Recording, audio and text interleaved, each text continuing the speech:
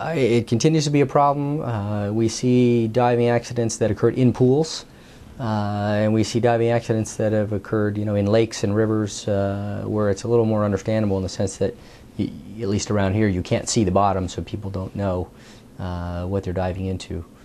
Uh, it's again very very common, despite the common sense nature of you know don't dive into shallow water. I think we all know that, yet people do it all the time um, and probably most of the time uh, get away with it. And so we, we, we, tend not to worry so much. I've seen already this year uh, several injuries from uh, diving into a river, diving into lakes, uh, and it's really important to know uh, what you're diving into, especially in rivers where the, the, the uh, the bottom can change. So it may be it may have been fine one day, and the next day there's there's there's new stuff there, whether it's debris, uh, rocks, sticks, things that, that can move, uh, or even the, the, the, depth changes as the sandbars change and things. So these can be uh, anything from minor minor injuries to to uh, definitely life-changing injuries, whether they're as a result of paralysis uh, or even you know somebody who's paralyzed and in the water.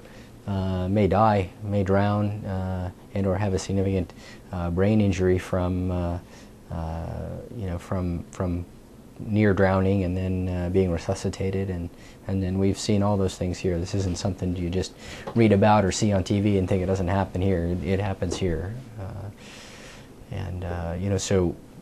If you think about a swimming pool, the, the, the, diving wells are you know typically 12 feet deep, I think, and yet uh, people are diving in lakes and rivers uh, in less than that all the time. Uh, unfortunately, a lot of these injuries also include um, alcohol and other other things that impair our judgment. So um, often uh, if it's in a pool, it may be after hours late at night uh, with or without alcohol.